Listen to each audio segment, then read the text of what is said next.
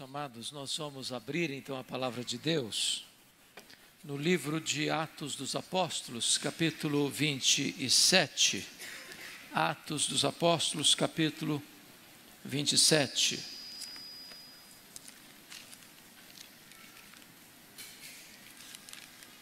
E faremos a leitura a partir do verso 9. Atos 27, a partir do verso 9.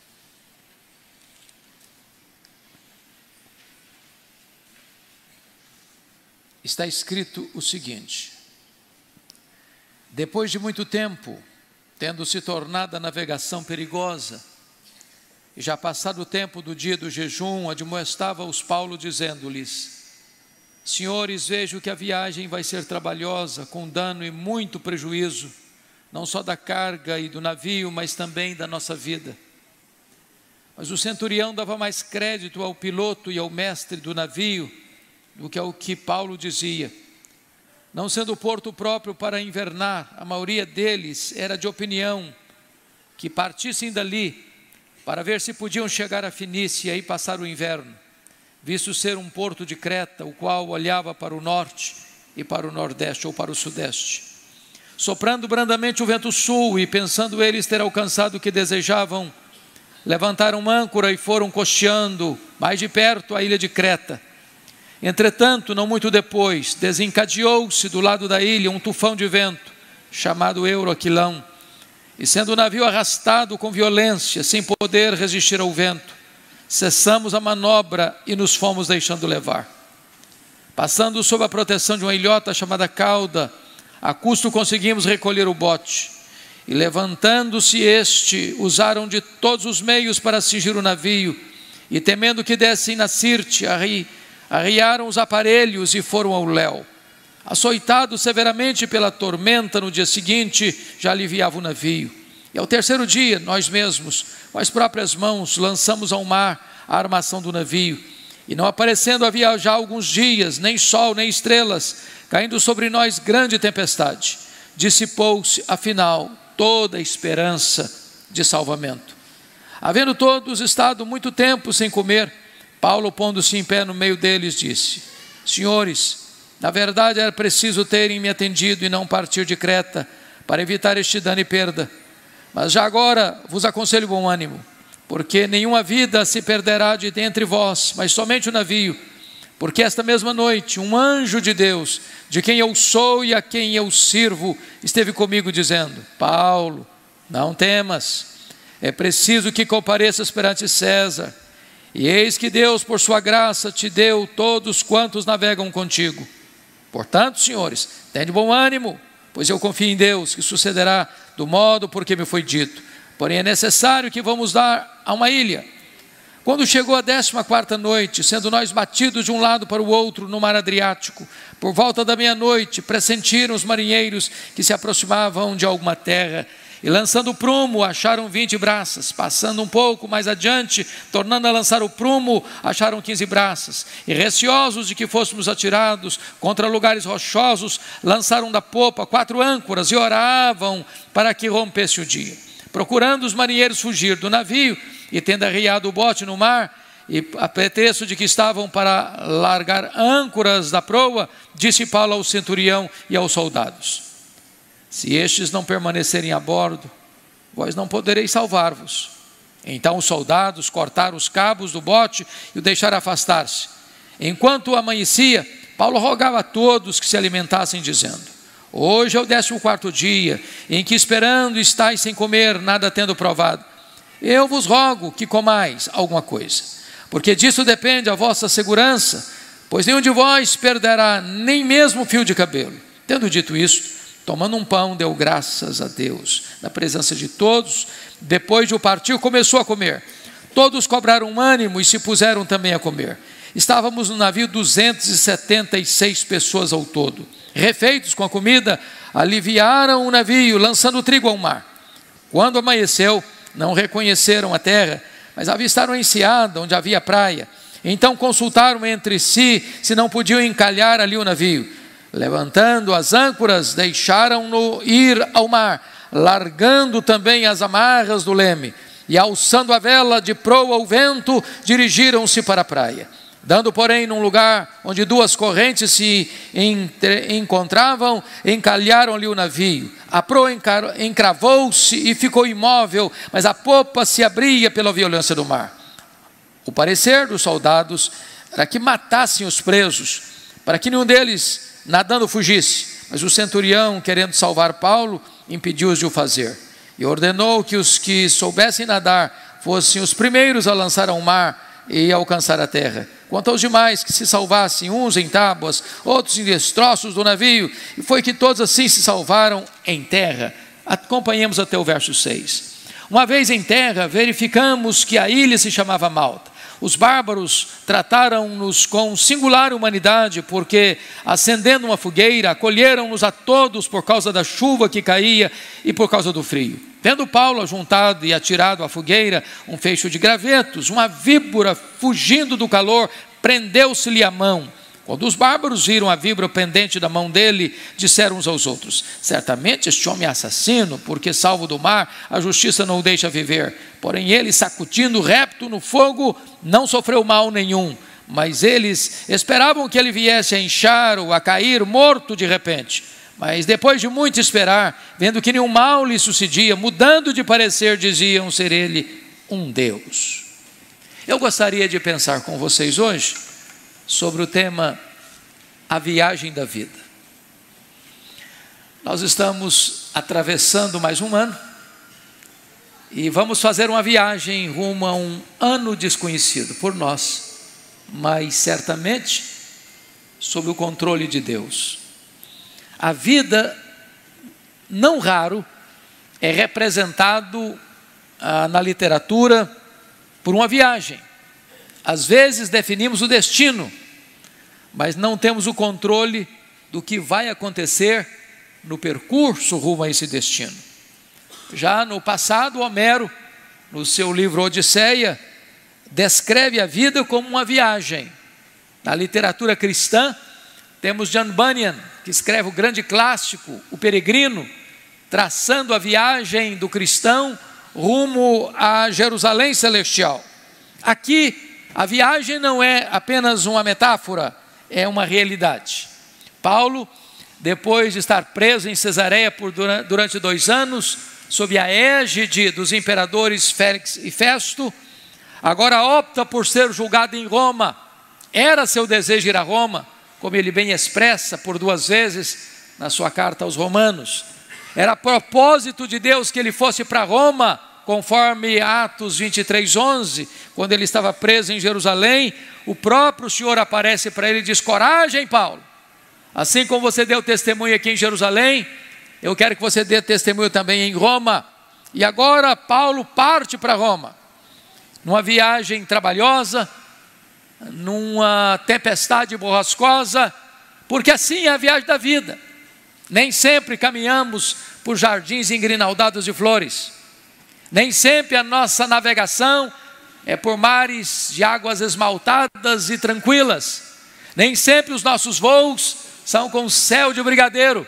Nem sempre pisamos estradas atapetadas, enfrentamos espinhos, adversidades, tempestades e perigos. Então, olhando para este texto, olhando para um ano que se aproxima, olhando para a viagem que faremos, trago aqui algumas lições para nós. Primeiro, nas tempestades da vida, nós precisamos estar atentos às placas de sinalização sinalização de Deus. Vejam vocês comigo no verso 10, uma advertência de Paulo. Senhores, vejo que a viagem vai ser trabalhosa com dano e muito prejuízo, não só da carga e do navio, mas também da nossa vida. O apóstolo Paulo, ele não era um marinheiro, mas era um homem experiente, de muitas viagens, já tinha enfrentado naufrágios, perigos de mares, de rios, e ele sabia que na chegada do inverno não era seguro navegar, os navios não eram tão robustos como os nossos, e então ele alerta, ele orienta, ele aconselha: olha, é melhor não sair, não é prudente sair, não é hora de viajar. A advertência foi dada, mas eles não ouviram a advertência de Paulo e sofreram consequências danosas. O navio se perdeu, toda a carga de trigo do navio se perdeu, além do desgaste físico e emocional daquele período. Meus irmãos, na vida nós temos placas de sinalização. Deus nos dá advertências. Deus nos alerta sobre perigos. Deus nos mostra as, as ameaças que estão pela frente. Quando você está dirigindo o seu carro, se você não olhar as placas, você corre um grave risco de sofrer um acidente, de provocar um acidente, de sofrer consequências, de produzir consequências na vida de outrem. Assim também está aqui posta esta advertência. Mas notem comigo, em segundo lugar, o descrédito no versículo 11. Mas o centurião dava mais crédito ao piloto e ao mestre do navio do que ao que Paulo dizia. O centurião era o soldado romano que cuidava de 100 pessoas. E talvez o centurião pensasse assim: esse Paulo pode ser bom de Bíblia, mas de mar ele não entende. A consultoria não deve ser feita a ele, mas aos marinheiros, ao piloto do navio. Ele não deve saber dessas coisas. E então está aqui um grande perigo, irmãos, é quando Deus coloca placas de sinalização ao longo da nossa jornada, mas nós não damos crédito, nós não obedecemos, nós não observamos, nosso coração se endurece. É o filho que não escuta o conselho do pai e da mãe, é o crente que vem à igreja e ouve e escuta, mas não leva a sério. É aquele que tem tantas placas de Deus ao longo da estrada da vida, mas não as observa. Mas veja você em terceiro lugar, versículo 12, está escrito assim: não sendo porto próprio para invernar, a maioria, a maioria deles era de opinião que partissem dali. E significa que a voz da maioria nem sempre representa a voz de Deus. Aliás, quase sempre, a maioria está errada. Quase sempre. A ideia de que a voz do povo é a voz de Deus é um dito popular sem qualquer sustentação histórica ou sem qualquer base bíblica. Aqui a maioria, como que numa votação democrática no navio, entenderam que não havia risco, não havia perigo, a viagem seria tranquila e segura, e não atenderam à orientação.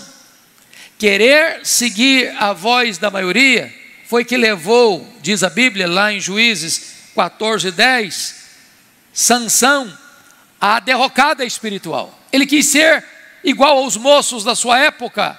E para ser igual aos moços da sua época, para atender a voz da maioria, ele quebrou um voto de nazireado, de consagração a Deus e arruinou a sua vida espiritual. O caminho largo da maioria é o caminho que conduz à perdição. Então, acautele-se quando todo mundo está dizendo, não, isso aqui não tem problema, não há nenhum problema, não há nenhum risco, você não é orientado pela voz do povo, você é orientado é pela voz das Escrituras. Mas em quarto lugar, notem comigo uma outra lição, por gentileza. Tome emprestada essa frase da minha velha mãe, a quem o Senhor já recolheu. Ela sempre me dizia: Meu filho, quem não escuta conselhos, escuta coitado. Então vamos ver essa máxima no texto. Primeiramente, confira comigo o versículo 13. Soprando brandamente o vento sul e pensando eles ter alcançado o que desejavam, levantaram âncora e foram cocheando mais de perto a ilha de Creta. Notem vocês que Paulo dá orientação: não é seguro viajar. Não é seguro. O centurião não escutou. Fizeram uma votação, a maioria disse: não, vamos viajar. Quando eles arpam, quando eles saem, notem comigo no verso 13, que o vento vai soprando brandamente.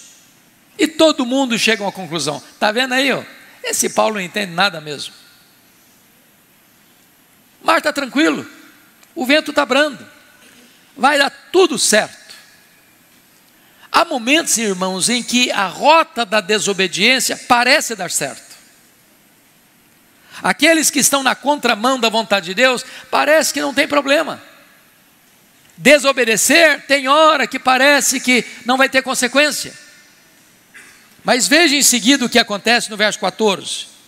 Entretanto, não muito depois, desencadeou-se do lado da ilha um tufão de vento chamado Euroquilão. O perigo chega, e chega subitamente, e chega sem aviso prévio, sem qualquer sinal retumbante, ele chega.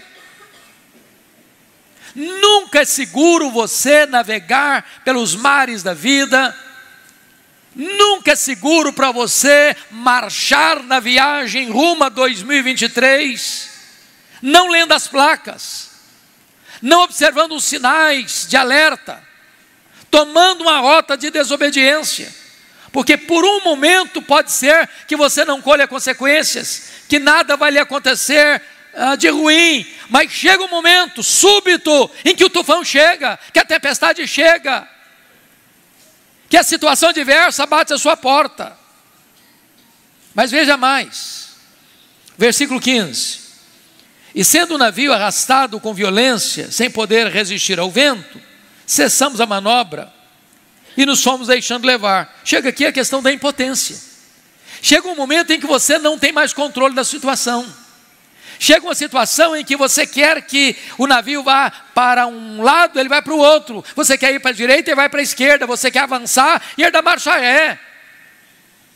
Assim, meus irmãos, é fazer uma viagem sem observar as placas e não observar os alertas de Deus. Você perde o controle. Você não está mais com o leme nas mãos. O navio da sua vida não obedece mais o comando. Mas aí vem um quarto fator, que é o prejuízo. Veja você comigo os versos 18 e 19. Açoitado severamente pela tormenta, no dia seguinte, já aliviava o navio. E ao terceiro dia, nós mesmos, com as próprias mãos, lançamos ao mar a armação do navio. Paulo já havia alertado lá atrás: olha, não vamos viajar, nós vamos ter prejuízo não só da carga, mas também do navio, não só do trigo, porque era um navio cargueiro, onde tinha 276 pessoas, e dentre elas prisioneiros, e talvez alguns deles já sentenciados à morte, indo para Roma apenas para servir de espetáculo nos anfiteatros romanos, para a satisfação sanguinária das feras ou para a espada dos gladiadores. Mas Paulo sabia que havia um perigo, e aqui o perigo chegou. Quando Deus dá um alerta para você na viagem da vida, não feche os seus ouvidos, não tape os seus ouvidos, porque as consequências vêm. O que Deus alerta chega, e então não é prudente tomar medidas na contramão das placas que Deus coloca à beira do seu caminho. Mas chega um ponto final no versículo 20, olha comigo. E não aparecendo já havia alguns dias, nem sol, nem estrelas, caindo sobre nós grande tempestade, dissipou-se afinal toda a esperança de salvamento. Meus irmãos, tem 14 dias que não faz sol e que não se tem noção se é dia ou noite. E note você que não é um navio tão seguro Note você que a essas alturas a carga do navio já tem jogado fora. O pânico, o medo, o desespero. E chega um momento em que ninguém mais no navio acredita que eles vão sair dessa. A conclusão de todos é que a morte chegou, que o mar revolto vai ser a sepultura, que não há perspectiva de livramento. E esta é a hora do coro do desespero, da voz uníssona, da impossibilidade. E eles entendem que não há mais saída para eles. Por quê? Chegaram a esse estágio porque deixaram de ler as placas de aviso, os alertas de Deus ao longo do caminho. Mas vem a segunda lição que eu gostaria de compartilhar com vocês. Nas tempestades da vida, nós precisamos olhar para Deus em vez de olhar para as circunstâncias. Que tem hora que você agora já não tem mais escolha, você já está no meio da tempestade. A decisão já foi tomada. Tomada errada, mas tomada. E agora você está sofrendo as consequências. Agora você está no miolo do problema, no epicentro da crise. Agora não dá para voltar mais ao porto e não sair mais. O que fazer? O que fazer? Nessa hora, em vez de você ficar olhando desesperadamente para a circunstância, você precisa começar a olhar para Deus. Porque, à luz do verso 20, dissipou-se afinal a esperança de salvamento, o desespero, irmãos, o desânimo é contagioso. É contagioso.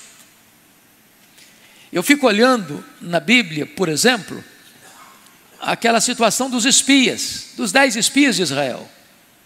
Eles olharam um cenário, era um cenário complexo, cidades fortificadas, gigantes, gente armada até os dentes, eles, peregrinos, jornando por um deserto, sem preparo militar. Disseram: olha, a terra é boa, as cidades são fortes, a terra mana leite e mel, mas lá tem gigantes, nós não somos guerreiros. Aliás, aos olhos deles, nós somos como gafanhotos. Não dá para nós, nós vamos ser engolidos. E esse relatório pessimista, desanimador, incrédulo, chegou a ponto de fermentar todo o povo. E diz a Bíblia que a ira de Deus se acendeu contra esse povo. E toda aquela geração perece no deserto, exceto os dois espias que disseram: Se o Senhor se agradar de nós, nós podemos. Então, o que fazer? Primeiramente, na tempestade nós precisamos encorajar as pessoas. Olha comigo o verso 21 e o 22. Havendo todos estado muito tempo sem comer, Paulo, pondo-se em pé no meio deles, disse: Senhores, na verdade era preciso terem me atendido e não partir de Creta para evitar este dano e perda. Mas já agora vos aconselho bom ânimo, porque nenhuma vida se perderá de entre vós, mas somente o navio. Eu fico olhando Paulo e me encanto com ele, porque pode dizer: bem feito, não avisei, agora, agora sofra as consequências. Alguns de nós fazem isso, né? Eu avisei, agora sofra. Ele dá uma casquinha, tira uma casquinha. Eu já avisei, não devia ter saído. Mas agora, gente, já que nós estamos nessa, bom ânimo. Bom ânimo. Eu não sei que tipo de tempestade você enfrenta na vida, na família, nos seus negócios, na sua saúde, nos seus empreendimentos, nos seus relacionamentos, mas eu quero dizer para você o seguinte: bom ânimo. Alguns estão divisando tempestades em 2023 ou nos anos por vir, mas a palavra que eu dou para você é bom ânimo. Tem gente que aposta no fracasso, mas a palavra de Deus para você é: tem bom ânimo. Em nome de Jesus, não olhe para as circunstâncias, não olhe para o cenário nacional nem internacional, olhe para o Deus que está no controle do universo, no controle da nossa nação e no controle da sua vida. Segundo lugar, segunda coisa, por favor, observe isso. É, abra os seus olhos nessas circunstâncias adversas da vida, para você ver as, para você ver as intervenções sobrenaturais de Deus. Veja comigo, por favor, o versículo 23. Mas agora, porque Versículo 23: Porque esta mesma noite, um anjo de Deus, de quem eu sou e a quem eu sirvo, esteve comigo dizendo: Paulo, não temas, é preciso que compareças perante César. Meus irmãos, eu acho isso aqui fantástico, porque aqueles irmãos lá, o apóstolo Paulo, Sabemos que Lucas estava também dentro desse navio, porque ele registra o texto como nós, então ele, ele, ele, não, ele não é um historiador que está contando essa história de fora da situação, ele está dentro da situação, ele é um historiador que está vivendo os fatos históricos. Quantos crentes tinham naquele navio? Nós não temos essa informação. Mas nessa situação de perigo, de ameaça, de um naufrágio iminente, de perdas financeiras, de perdas emocionais. Nessa hora que todos os recursos da terra se esgotaram, o Senhor envia para dentro daquele navio um anjo. E esse anjo não vai falar com o piloto do navio. E esse anjo não vai falar com o centurião que está controlando eh, e talvez responsável por esses presos, alguns talvez indo para a morte, outros indo para julgamento, como Paulo. O anjo vai falar com Paulo. E qual foi a mensagem do anjo para Paulo? Notem vocês aí comigo. Paulo, versículo 24: Não temas, não tenhas medo, é preciso que compareças perante César. E eis que Deus, por sua graça, te deu todos quantos navegam contigo. Isso é maravilhoso, sabe por quê, irmãos? Prestem bem atenção nisso. Deus havia dito para Paulo, quando ele estava preso em Jerusalém, lá em Atos 23, 11: Coragem, Paulo. Assim como você deu testemunho em Jerusalém, eu quero que você dê testemunho também em Roma. Agora tem o naufrágio, a esperança se dissipa, a morte mostra a carranca, e talvez se se rendesse à incredulidade, poderia pensar: bom, o plano de Deus foi por água abaixo. Deus prometeu, mas não vai cumprir. Ele me queria em Roma, mas as circunstâncias não deixaram. Eu quero dizer para você uma coisa, meu amado: o nosso Deus é o Deus que fala e cumpre o que diz. O nosso Deus é o Deus que promete e as suas promessas não caem por terra. O nosso Deus é o Deus que vela pela sua palavra em a cumprir. Quando o nosso Deus fala, ele cumpre o que promete e ninguém pode impedir a sua mão de fazê-lo. O anjo de Deus vem não para trazer uma mensagem nova, o anjo de Deus vem para ratificar a promessa de Deus de que ele precisa comparecer perante César. O anjo vem para dar um selo na palavra do Deus vivo que não pode falhar. Então, me permita dizer isso. Pode ser que 2023 tenha tempestades, e provavelmente tenha mesmo. Mas o nosso Deus está conosco. O nosso Deus está dizendo para você e para mim: tenha bom ânimo, tenha bom ânimo. Mas agora me permita ainda, amados, adiantar no texto e trazer mais uma lição.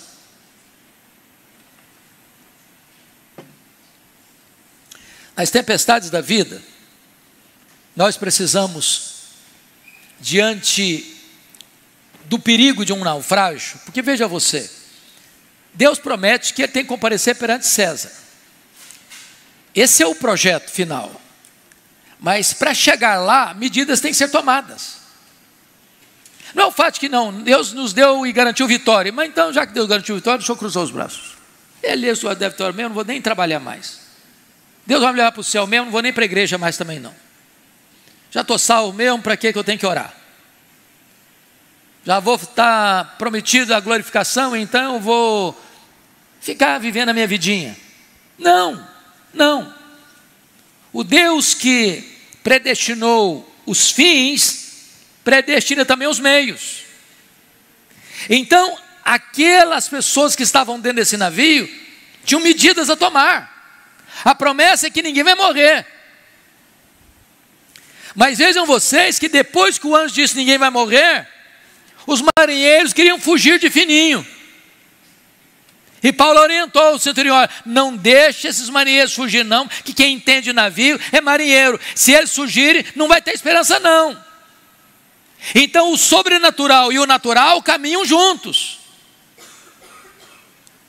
A ação sobrenatural de Deus não dispensa a sua inteligência, não dispensa a sua especialidade, não dispensa o seu trabalho, não dispensa a, o, seu, o seu cuidado em fazer o que está nas suas mãos para fazer. Então, algumas medidas têm que ser tomadas. Primeiro, é preciso lançar âncoras. Veja você comigo, por gentileza, versículo 29. E receosos de que fôssemos atirados para lugares rochosos, lançaram da popa quatro âncoras e oravam para que rompesse o dia.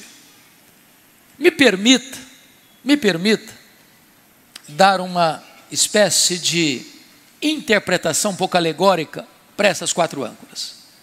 Quatro âncoras são peças de ferro, são lançadas para grudar lá embaixo, para que o navio não pudesse ser levado pela fúria do mar para lugares rochosos, se despedaçando ali, inclusive eh, trazendo riscos para a integridade física das pessoas. Mas vamos lá. Primeiramente, veja você no verso 25.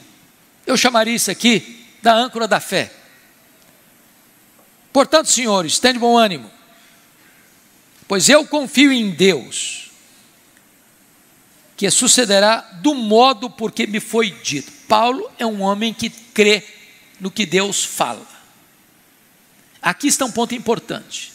Se você crê que a Bíblia é palavra de Deus, se você crê que as promessas de Deus são fiéis e verdadeiras, se na hora da crise você diz, não, eu confio, eu não estou vendo, mas eu confio, eu não sinto, mas eu confio, está todo mundo dizendo que não vai ser verdade, mas eu confio, está todo mundo dizendo que vai dar errado, eu confio, isso é fé.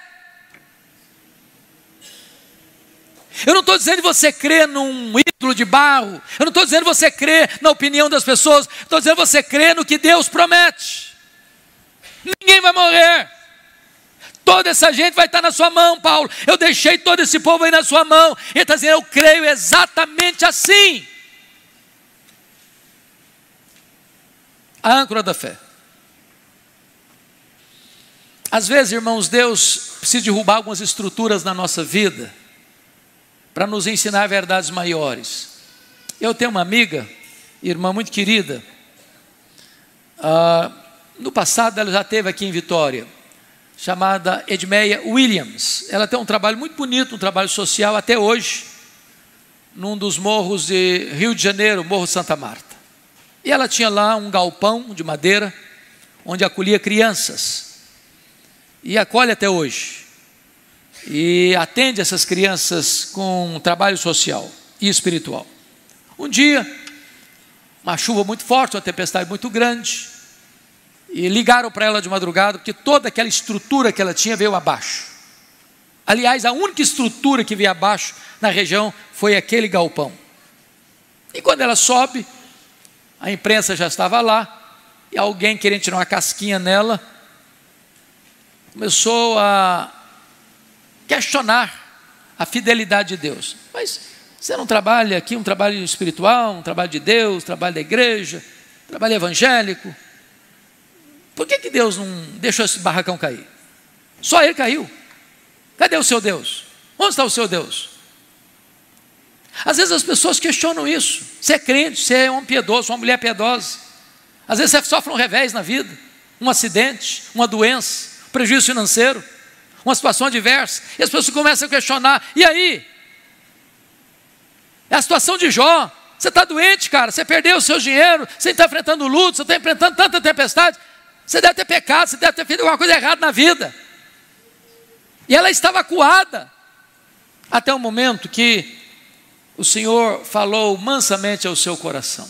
E ela respondeu para os repórteres que estavam questionando: Não, esse barraco não caiu pela tempestade. Deus derrubou esse barraco. Porque Deus não quer mais aqui um barraco. Deus quer aqui um prédio de alvenaria, bonito, confortável, seguro. E foi isso que aconteceu. Tem hora que Deus derruba algumas estruturas frágeis para construir algo mais forte na nossa vida. Você precisa crer que a tempestade não é o fim da sua vida, o projeto de Deus não interrompeu-se porque a tempestade chegou na sua história. Segundo lugar, meus irmãos, veja comigo a âncora da esperança. Olha o verso 27. Quando chegou a décima quarta noite, Sendo nós batidos de um lado para o outro no mar Adriático, por volta da meia-noite, pressentiram os marinheiros que se aproximavam de alguma terra. Deus é especialista para deixar a intervenção dele assim para a última volta do ponteiro, último furo da correia. Para meia-noite, para a quarta vigília da noite.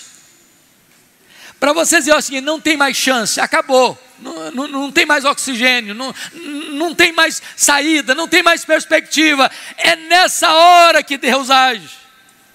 Tem esperança, meu irmão, tem esperança. O Senhor virá ao seu encontro, ainda que na quarta vigília da noite, ainda que à meia-noite, ainda que na última hora. Mas a terceira âncora é a âncora da oração. O próprio verso 29 nos diz isso: lançaram da popa quatro âncoras e oravam para que rompesse o dia. Eu confesso a vocês que, no meu entendimento, esta é a oração mais óbvia da Bíblia. Eu não conheço nenhuma oração mais óbvia do que esta.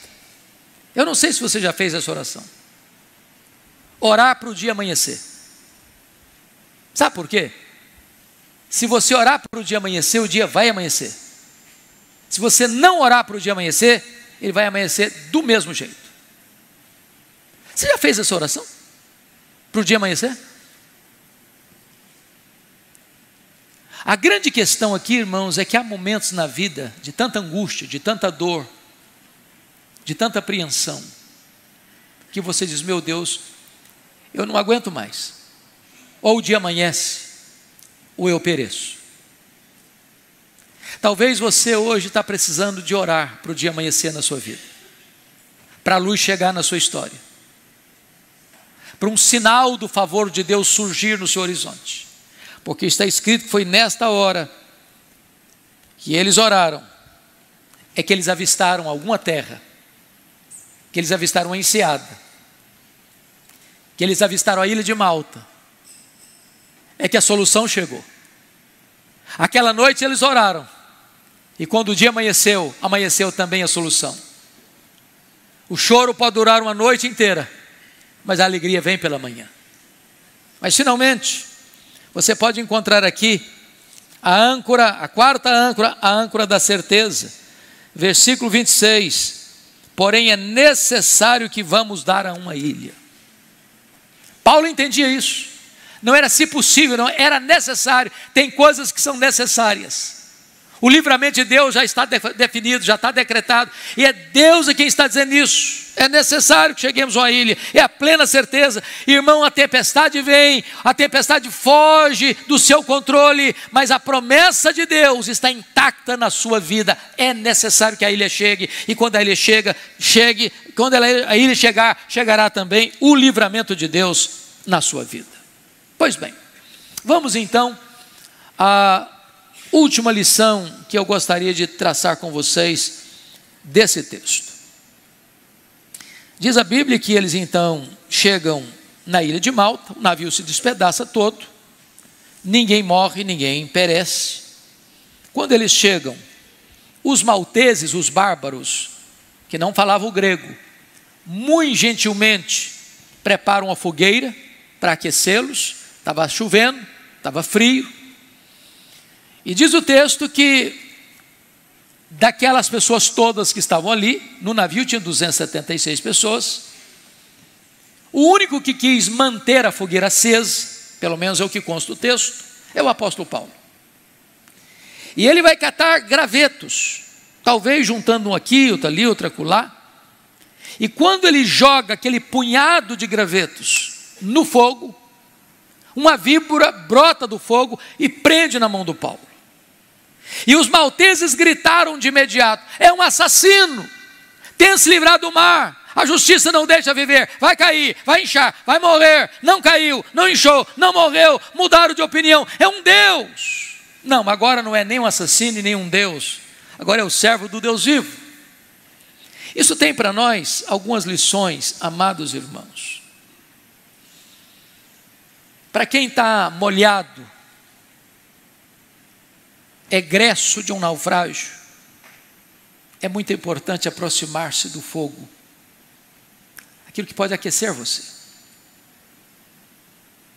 E eu quero encorajar você, em 2023, a aproximar-se daquilo que vai aquecer o seu coração. Mas eu quero encorajar você também a catar os seus gravetos, a manter o fogo aceso porque o fogo tem uma tendência de apagar. Ou ele propaga, ou ele apaga. Junte os seus gravetos.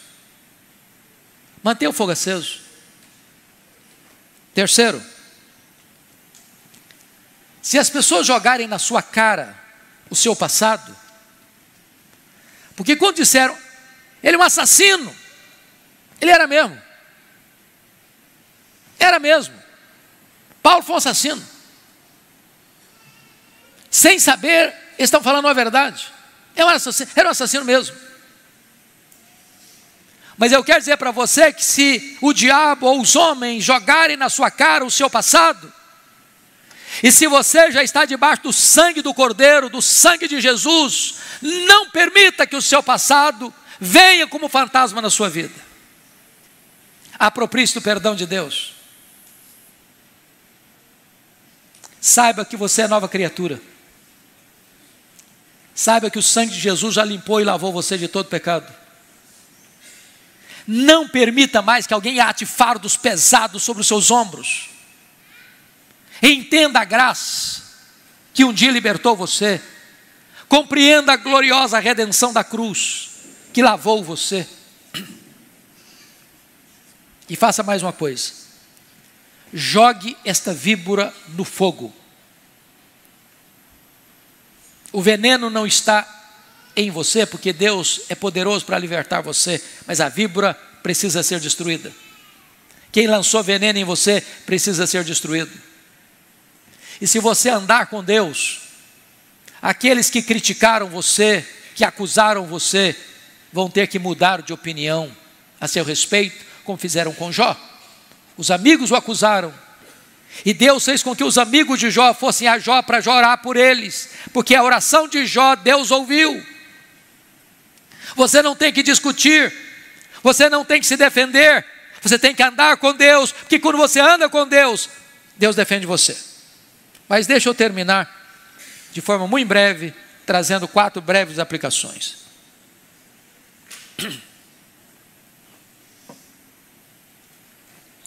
Nas tempestades da vida, nós precisamos nos apropriar das promessas de Deus. E a primeira coisa que eu quero trazer à tona é que Deus pode levantar pessoas que você nunca viu para abençoar a sua vida. Eu fico encantado com isso, pastor Jailton, por que, que os bárbaros foram tão simpáticos, tão amáveis? Aquela fogueira não estava lá, ela foi preparada para isso. Eu não sei quanto a você, Deus tem me dado experiências maravilhosas e lindas, de muita gente que eu nunca vi, que me abençoa, que me encoraja, que me acompanha, que me assiste, que me ampara. E talvez você também conheça tantas pessoas que você nunca viu o rosto delas, mas são levantadas por Deus para ajudar você. Espere de Deus os ministros incógnitos, anônimos, que Deus há de levantar para abençoar a sua vida. Segunda promessa: Deus é poderoso para proteger você de todo o mal. As víboras estão por aí. E servos de Deus são picados por víboras. Mas Deus pode libertar você, e eu estou falando, seja literalmente, seja metaforicamente, há víboras. E Deus livra do mal, como livrou Paulo. Terceira promessa: se você andar com Deus, as mesmas pessoas que rotularam você, trazendo à tona o seu passado, vão ter que reconhecer que você é alguém especial, alguém a quem Deus ama e a quem Deus protege. Finalmente, a ilha do seu naufrágio pode ser a terra da sua oportunidade. Se você perceber e ler com atenção o capítulo 28, não foi a tempestade que levou Paulo para Malta, foi a mão da providência de Deus. O pai de Públio estava doente, Paulo orou por ele, ele foi curado. Os enfermos da ilha vieram e Paulo orou por eles e eles foram curados. O testemunho do evangelho foi dado naquela ilha nos três meses de inverno rigoroso que Paulo ali passou. E dali Paulo foi levado para Roma com todas as suas necessidades supridas. Tem hora que você pensa que a sua vida está de ponta cabeça. E talvez nesse momento Deus está escrevendo o capítulo mais emocionante da sua história. Nós estamos entrando em um novo ano. Estamos fazendo uma viagem. Talvez segura, talvez tempestuosa. Deus o sabe. Você sabe o destino, mas você não decide o que vai acontecer ao longo da estrada. Mas uma coisa você pode ter certeza: Deus está com você. Você pode ter bom ânimo. Deus é poderoso para livrar você. Deus é poderoso para mandar o seu anjo para dar mensagens para você. Deus é poderoso para livrar você do mal. Deus é poderoso para levantar pessoas para socorrerem você nas suas necessidades. Mas entenda uma coisa: você precisa ser uma pessoa de Deus e usada por Deus, não importa a circunstância. Se é dentro do navio, Deus vai usar você dentro do navio. Se é na ilha de Malta, Deus vai usar você na ilha de Malta. Se é em Roma, Deus vai usar você em Roma. Se é sob algemas, Deus vai usar as suas algemas. Se é livre, Deus vai usar você na sua liberdade. Não importa a circunstância, o que é importante é que em qualquer circunstância a sua vida está nas mãos de Deus e você deve ser um ministro de Deus para abençoar as pessoas que estão à sua volta. Que Deus nos ajude a navegar por 2023 debaixo da bênção e do cuidado do Eterno. Feliz 2023.